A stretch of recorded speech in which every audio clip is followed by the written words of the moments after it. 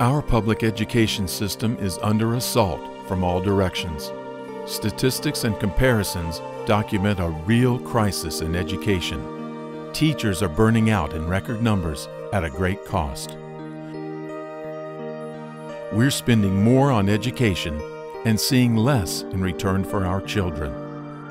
The statistics may be debatable, but the bottom line is far too many of our children are not getting the education they deserve. Real change is seldom from the top down. Lasting change occurs one district, one school, one teacher, and one student at a time. What happens when students are engaged and take responsibility for their own learning? You smell it in the air the way the kids they come in in the morning and this excitement for learning. What happens when teachers are effective and passionate? I'm having fun, the students are having fun, and the scores are going up. The content comes alive. Students pay attention because the learning has real meaning in their lives. It's amazing the results, and then you're addicted. You just can't stop because you're like, I just taught something that it took four days to teach last year. One of the students looked up at the clock and they're like, ah, oh, why does this class always end so quickly?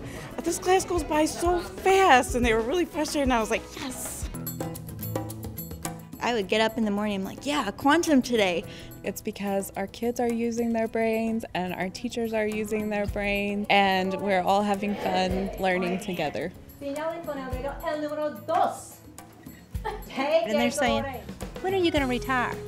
I said, I know it's not time yet.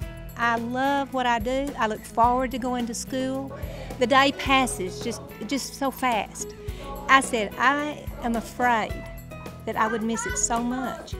Uh, and a lot of it is because of quantum learning.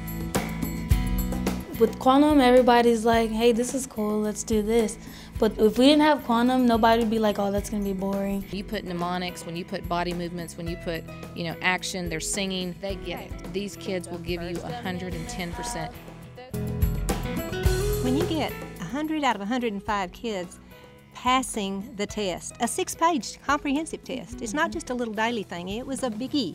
For two decades, quantum learning has focused on improving learning and engaging students. We've definitely seen a, a, decrease in the amount of discipline that we've had. Less management issues. It's helping my management go very, very smooth and very, very fast. And the administrators with far fewer discipline problems can spend their time building a positive school environment.